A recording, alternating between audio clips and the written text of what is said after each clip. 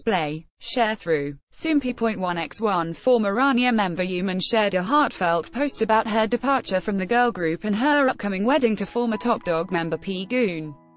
See also, nostalgic girl group songs that will rock your summer again on July 17th, Yumin uploaded a photo from her wedding pictorial with P. Goon on Instagram, along with her thoughts on her newly announced engagement. Soompi. Display, News. English .300x250, BTF Soompi. Mobile. English .300x250, ATF Her post reads as follows, Hello. This is Yumin.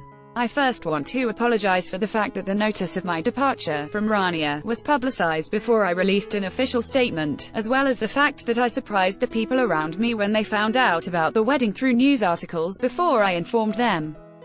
I've always been surprising the people around me. A kid who had only worked part-time jobs, suddenly said she wanted to become a model and started promotions. After receiving a lot of love as a model, I was able to gain the new experience of being in a girl group as a new member of Rania.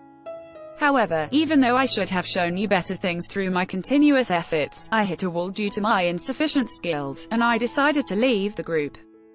We dated for four seasons, one year, with marriage in mind, and now, after combining our hearts and promising to be together for the rest of our lives, we will get married in August. In a way, I think it may not have been easy for me to announce the news because I wasn't confident according to my standards of success. However, we plan to cheer each other on even more in the future and spend the rest of our lives together as true partners. Thank you to everyone who congratulated us and took an interest despite the sudden news. Yumin and P. Goon will get married on August 25 at a wedding hall in the Gangnam district of Seoul.